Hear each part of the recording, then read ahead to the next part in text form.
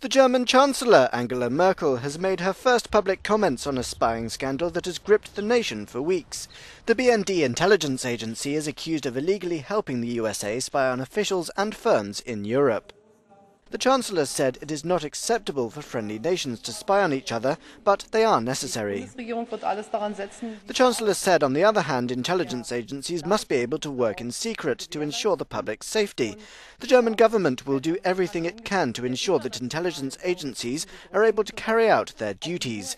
In the face of international terrorism threats, they can only do this in cooperation with other intelligence agencies, and that includes, first and foremost, the NSA. In Germany, surveillance is a particularly sensitive issue, following abuses by the Nazi regime and then by the East German Stasi during the Cold War.